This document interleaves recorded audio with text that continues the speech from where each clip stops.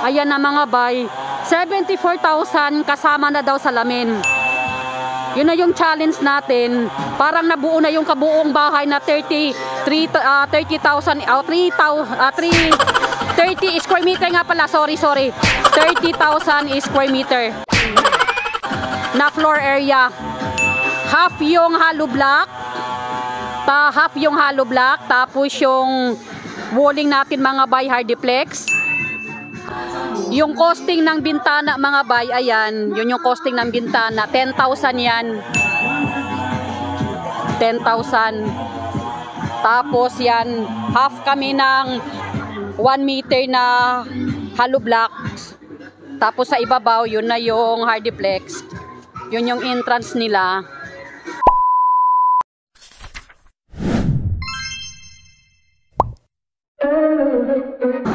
Bay!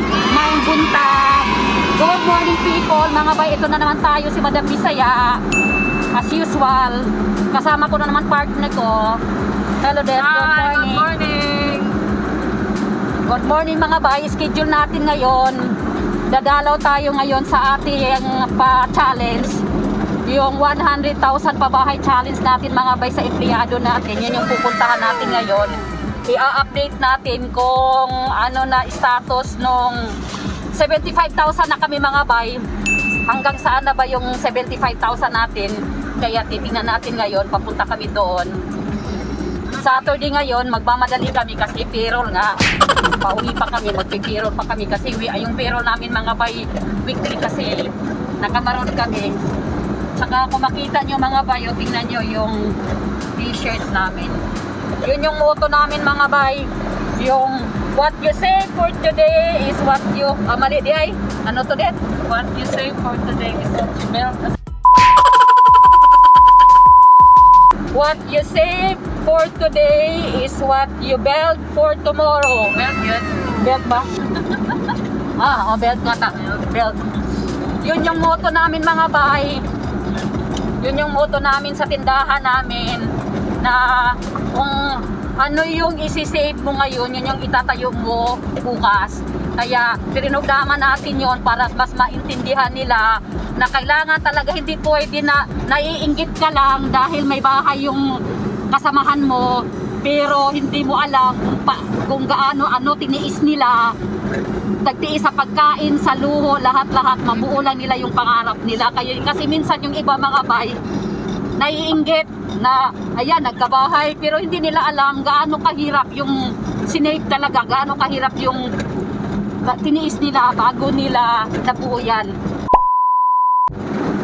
Malayo-layo din kasi itong pinuntahan natin mga bay. Ibang lungsod, iba ibang lungsod mga bay. Tsaka sa nagtatanong nga pala kung yung lupa kasama ba daw, mga bay sa kanila yung lupa, yung 100,000 natin na programa talaga, labor and material, yun lang yung mga bay, yung lupa sa kanila yon sa mga nagtatanong dyan. Yung 100,000 talaga, yung bahay lang talaga at saka yung mga mason yung expenses doon. Hindi kasama lupa. Yung lupa doon mga bay sa kanila yon hindi yon sa hindi yon sa atin. A few moments later. Mga bay ito yung asawa ni Archel. Hi ka lang hi ka. Isa ito yung asawa ni Archel na doon nagtatrabaho nga sa atin. Tapos sabi niya mga ba yung lahat ng resibo ng 100,000 pa challenge natin meron din sila. Lahat ng mga delivery binibigay natin sa kanila para sila yung mismo yung nagpipinta kung hanggang saan na ba. Yung pintada mo lang magkano na 70,000 Sila. 70,000 na. 70,000 na. Diha pa lang sa inyo na mga, mga resibo, 70,000 na. Ah, sige. Ayan na mga bay. 74,000 kasama na daw sa lamin. Yun na yung challenge natin.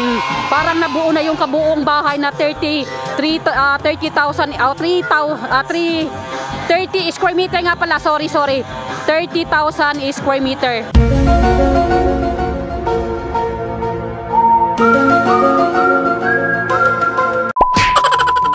Na floor area. Half yung hollow block Ta half yung hollow block, tapos yung walling natin mga bay hardiplex.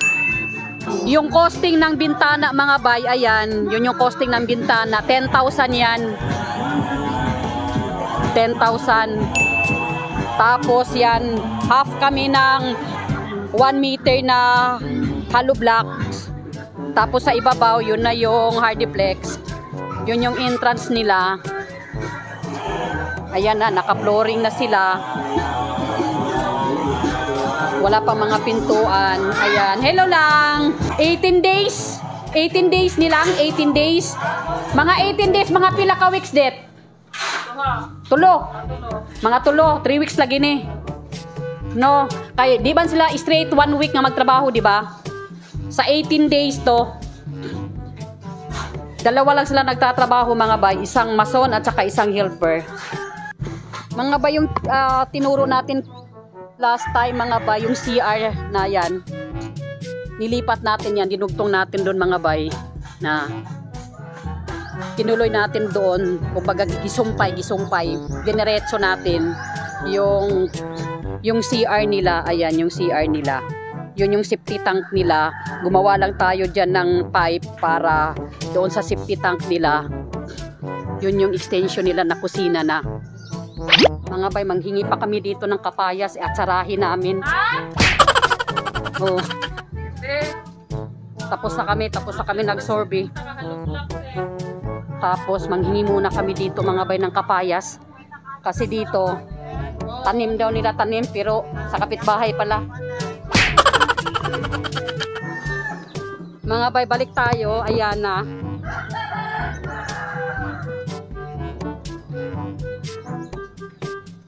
Pagbalik natin mga bay, palinisan natin to para makita talaga natin yung kabuuan.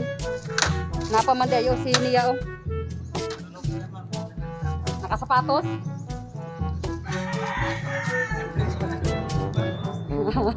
Hadiplex ni. Pagbalik natin mga bay, mapabalinis to, maganda na to tingnan, makikita na natin talaga kung yung sabi ko nga saan naabot yung 100,000 natin. Ito, pag nakita na to, ito pala ngayon, hindi siguro natin ma-appreciate. Gawa ng ano pa eh, kalat pa yung palibot. Baka sa susunod balik natin, makikita na natin. Meanwhile, Ito daw. Pagkisa din kapayas. Basig. Bukuro mi dito ha. Sarap mga bay pag sa probinsya talaga. Magabay continuous tayo mga bay. Magandang umaga. Ito talaga, parang Madam Bisaya na talaga talaga. Totoo na talaga siguro to. Bagong service kami mga bay. Yung partner ko, yung driver ngayon, si Judith mga bay.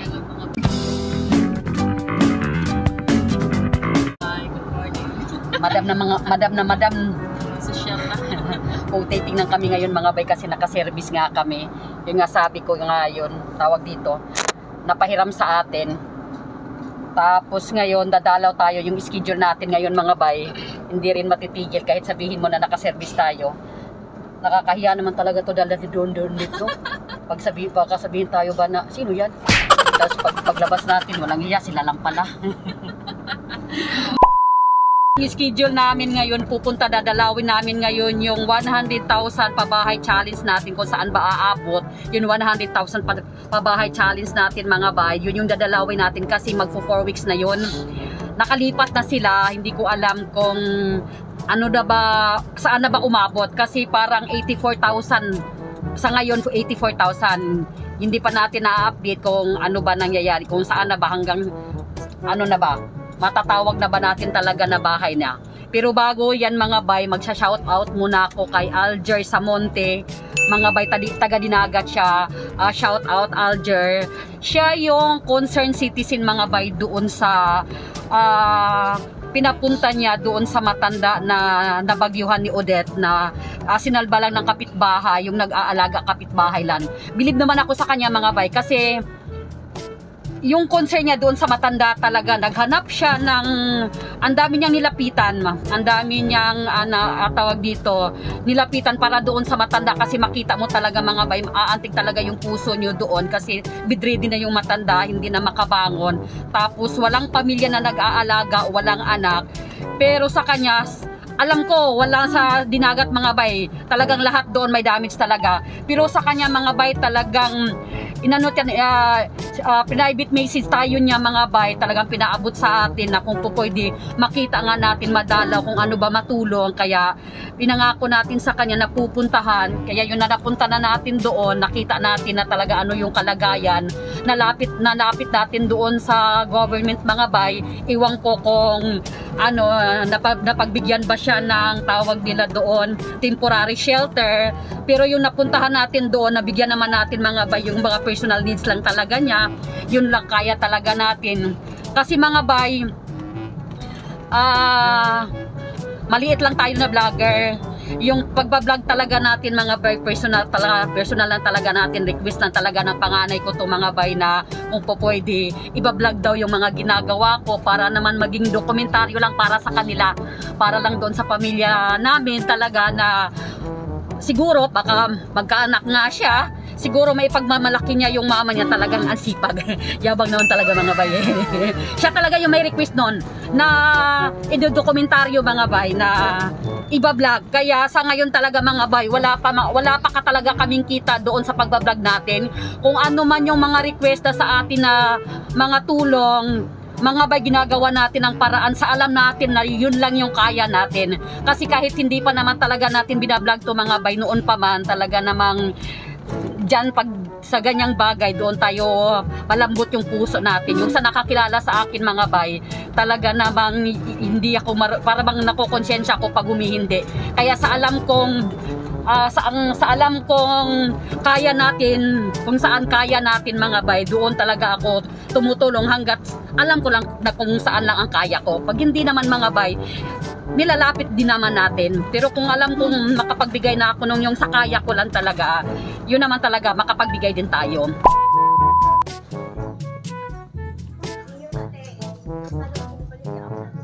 Oh, kung interesado mo baligya. Sa tuo. Okay kayo. Okay pa sa Okay sa 70. O kung mapahangyo pa. 87, 87,000 yung banggirahan nila ganito pa ka status. Ganito, ganito pa status ng banggirahan. Sa 87 CR wala pa. Sa isukod na sa CR sa isukod sa CR 5 feet 5 feet. 1.1.5 1.55 hapit tayo mag 2 meter po no? Tapos sa labas. Hardiplex lang yung ginawa nila sa double walling mga bay. Hardiplex double walling hindi nasagad ng pangdiretso. Siguro na ano underestimate nung ano plano nila. Kasi kung double walling din naman sa hardiplex kung tinuloy natin to yung tibay saka yung durability talagang hahaba. Kaso nga lang siguro na underestimate nila yung hardiplex kabilaan. Kaya siguro ano hindi na na-estimate akala na makamura yun din yung ang, ang ano ang durability mga bite just yung ga- ko- konti lang naman diretso na sana doon. Pero nandun na eh. Tingnan na lang natin talaga mga bite kung saan pa. Hindi pa. 28 days. 28 days? Ah 23 days pala. 23 days talagang hindi ako nakaka-eksakto talaga. Balik na lang kami ulit. Ayun na mga bay wala pa rin. 28 days na daw ganun pa rin yung estado nung ano estado nung bahay no dit no Mm, Urak-urak na yung Sa- nagbago. Semana naman tani ato no. mm. Tuan lang. Katong banggira lang minadugang. Oh, yung pagirahan yung nadugang, hindi namin alam kung yung simento ba, hindi galamay nung mason. Tapos doon ako na anuhan doon sa one dit. Double bowling. nila. Oo. Mga bay kasi hindi talaga tayo nakatutok talaga doon. Sila yung nagsasuggest doon sa Panday. Kasi kamag-anak nila yon sila yung nagsasuggest at saka yung may-ari. Parang nagsusupervise lang tayo doon sa materialis, hindi talaga natin mapilit kasi may mga sarili din sa desisyon. Sasabihin lang, malaki daw tatakbuhin ng 100,000. Pero ayun, makita natin sa actual, yung gusto ko sana yung diretso na ba yun, sana yung bagirahan, magsasuggest din sa ng sarili nila. Kaya pag pupunta natin doon, hindi na yung suggestion natin, hindi yun yung nangyari.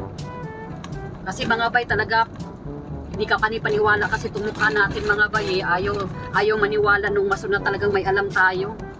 Pero sanay na ako dyan mga bay, talagang ano, yung ayaw maniwala sa atin na sa dami na nai-estimate natin mga bay, alam na namin kung saan yung takbo. Yung sa amin sa araw-araw, alam ko na tatakbuhan kasi yung presyo, alam na natin ilang araw nilang matatrabaho, may estimate na natin mga bay. Kaya siguro akala nila ang laki ng tatakbuhin ng 100,000 na yun. Pero tuloy pa rin tayo kung hanggang saan talaga aabot yun. Kasi ang gusto ko naman talaga mga bay, kahit sabihin mo 100,000 lang yun, yung maganda na rin ba? Yung parang hindi na kung pwede palang stable na yung semento, no? Dito isang semento lang ba? Yung flooring niya, yung sinadjust natin na ano ba yun, pakinisin, lalagyan ng red cement. Mm. Hindi, hindi rin nag, ka- isang trabahuan na lang yun eh. Isang trabahuan na lang yun. Pa. Oh, malinis pa, hindi rin pumayag. ito. Kasi nilagyan lang ng rinolyo. O magkano rinolyo mga ba? Ilang buwan, ilang, ilang lang buwan nasisira yan. Mm. Samantalang kung magre-red cement yun, tawag dito, lapasuan, lupluruwakan, maano yun, malinis na yung titingnan. Mm. Sinuggest ko yun kasi nga nakikita ko naman talaga yung linoleum na ginagamit. Oo, malinis nga siya pero ilang buwan lang sira na naman yung linoleum, bibili ka na naman. Dali ra po tigit tumukuan kay raf raman. Oo. Samantalang kung pag rough noon, sinabay na nung pinakintab yun, binuhusan na ng red cement, isang trabahuan lang yun mga bay. Isang ganunan lang sa semento yun, hindi aabot ng ilang kilo ng semento yun, makinis na, naka-red cement na. Pero ayon lang makinig eh. Meanwhile, Sino? Hello mga bay, continuous tayo. Continuous tayo mga bay. Mga bay, luya akong partner. May sakit mga bay, may sakit. Luya. Continuous tayo doon sa pa-challenge natin na ah, 100,000 pabahay challenge natin mga bay. Ito na yun. Pila na kwintada? Wala ka kabalo? Ito na yung 100,000. 100,000. Parang may sobra na daw konti. Hindi pa talaga namin ma-estimate.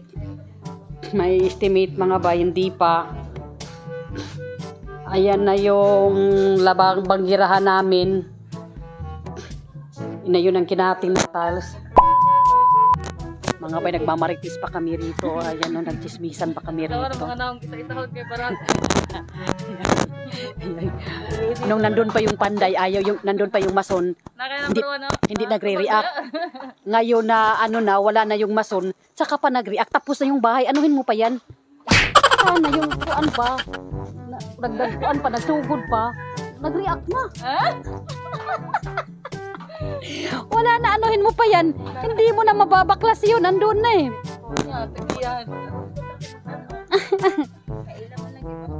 Di kay sayang manggod ito yung ito yung ito ito ito, ito, yung ito yung kinagalit nila mga bay tinan nyo ayan.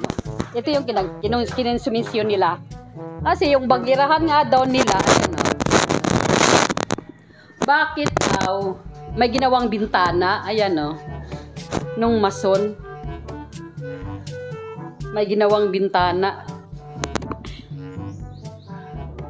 100,000 mga bay ayan Hindi pa yung pintuan, hindi nalagyan ng hindi nalagyan ng pintuan yung mga kwarto pero may materialis pa mga bay. Ito lang yung nalagyan. Tapos ito yung kini-question ko talaga. Yung ano niya, yung walling. Kasi yung maso nila mga bay, sila, siya yung nagdidesisyon kasi hindi natin mapagsabihan kasi kilala nga nila. Kanila to eh. Kakilala nila yung yun yung diyan ang mahirap pag kilala mo. Yun bang kamag-anak mo hindi ka pwedeng magsalita. Hindi kagaya ng mga ah, mason ko mga bay. Galamay ko na kung ano gusto ko galamay na kung ano interest ko ano papalabasin ko galamay na nila ako eh, sa kanila yung mason kaya hindi ako pwedeng mag-suggest hindi ako pwedeng magsalita.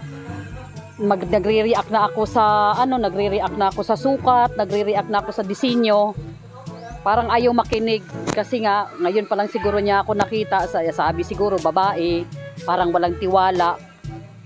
Yun nga sabi ko yung mukha kasi natin mga bay hindi mapagkatiwalaan kasi pagdating sa construction akala nila wala tayong alam mga bay tingnan mo yung kalahati tsaka hardiplex yan.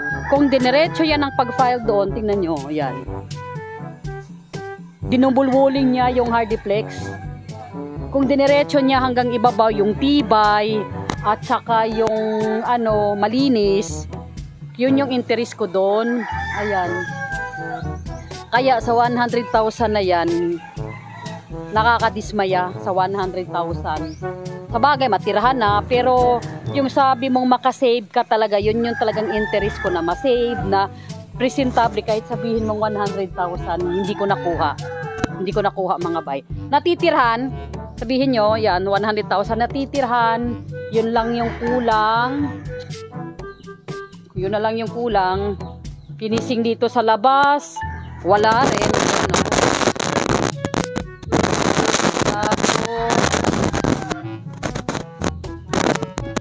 May ano to, to tatapalan pa to ng hardiplex yan na yan yung tatapalan yan yan yan yung hard, ano na yan tapos doon sa ibabaw yung may liwanag doon yan. Tapos walang pintuan yung dalawang kwarto. Mga bay sa halagang 100,000. Ito na yon. Para sa akin, hindi ako kontento. Yung recommendation ko, hindi ako kontento dun sa gawa ng mason. Kasi hindi tayo nakapag-decide. Sinubukan ko lang yung sa kanilang idea. Iyan. Sa akin mga bay, kung sana yung yung gusto ko ba yung ido-drawing muna kahit maliit yan uh, uupuan din pag-usapan kung ano disenyo kasi mga bay ang nangyayari kasi turo-turo yun yung nangyayari sa turo-turo eh pag turo-turo talaga mga bay walang walang ano diyan walang magaling diyan sa turo-turo na yan pero pag pag-usapan nyo kahit maliit yan na pag-usapan nyo wala pa lang wala pang sweldo yan nag-uusap pa lang kayo na ganito gusto kong disenyo ganito yung sukat alam na nung takbo nung mason kan saan, saan kayo pupunta pero pag turo-turo titigil kasi ituturo mo. Ah, hindi ganyan yan. Hindi mo na makuha yung yung yung gusto mong mangyari kasi turo-turo lang. Hindi kagaya yung inupuan mo muna, plinano mo muna na yung alam mo na sa imagination mo yung finish na mangyayari. Eh ito inaabangan ko, hinayaan ko yung mason kasi sabi nga magaling daw, galing daw ng Davao, galing daw ng mga housing. Kaya hinayaan ko yung idea niya na siya yung mag-decide yung maso na yun kaya nakakadismaya oh. mga bay ayaw kasi ayaw kasi mag, walang tiwala yung mason sa akin niya tinan mo wala pa rin oh. walang tiwala yung mason mga bay kasi nga sabi ko nga wala sa mukha kasi mga bay hindi mapagpagkatiwalaan to pagdating sa construction kala niya walang ano kaya ayan parang pwede palang ulitin Rewind, rewind. Rewind sa. Kasi sayang. Okay naman siya kung one lang, limpyo lang ba, no? Problema kay di magud limpyo. Sayang. Parang sayang lang sa disenyo. Parang yung gastos, ganon din lang naman, yung disenyo lang na pwedeng maisa naman lang sana na maganda, yun yung hindi nakuha yun yung gusto sana gusto kong palabasin talaga yung disenyo, yung ganon din yung gastos pero yung disenyo maganda. Pero hindi niya nakuha kaya sa 100,000 ayun yung kabuuan ng 100,000 mga bay. Kahit kung sabihin mga bay na hindi naman sa inyo, hindi man sa iyo yun, nakakadismaya pa rin mas masarap naman kasi na talaga mismo yung may-ari, yung mismo yung titira doon, nakokontento sa gawa. Mm. Yung kahit sila masaya sa halaga man lang na 100,000 yon pero kumbaga kontento ka sa gusto mong mangyari. Pero andun na nga eh, sabi ko nga andun na, kaya nakakalungkot nga naman talaga. Sabi ko nga, hindi, hindi kaya tayo, hindi, hindi natin pwede mapangunahan kasi yung panday kasi kamag-anak nila kaya hindi rin nila ako masisisi. na ganun ang nangyari, ganun yung resulta kasi kamag-anak nila yon sa halagang 100,000 mga bay na pabahay challenge natin, ayun na yung resulta. Hindi naman natin pwedeng babaklasin yon. Ano sa tingin nyo? Para sa akin mga bay, yung sabi ko, hindi ako nakontento, hindi pasado sa akin yung 100,000 na yon na ganun yung costing sa ganong disenyo, sa ganong forma. So, yun nga, sabi na, nandyan na yan. Matitirhan naman nila. Kaya wala tayong magawa mga bay. Yun na yung report namin. Sa halagang 100,000, kayo na ang humusga sa 100,000 pabahay challenge natin. Siguro bawi na lang tayo sa susunod mga bay. May isa pa akong nagpabahay ng 100,000 pa challenge natin. Ikaw compare natin ngayon yung talagang nakaplano na pag-upuan. Wala pa nga sigurong kuryente yun dito, no? Ah, lalo, ah, ilaha? Wala pa. Na pag-upuan, yung disenyo, yung sukat, doon natin mapapag-compare mga bike kung ano, saan ang advantage sa disadvantage ng dalawa. Kaya sa ngayon, magpapaalam muna kami mga bye. Thank you for watching. Thank you din. Bye-bye guys. Bye-bye.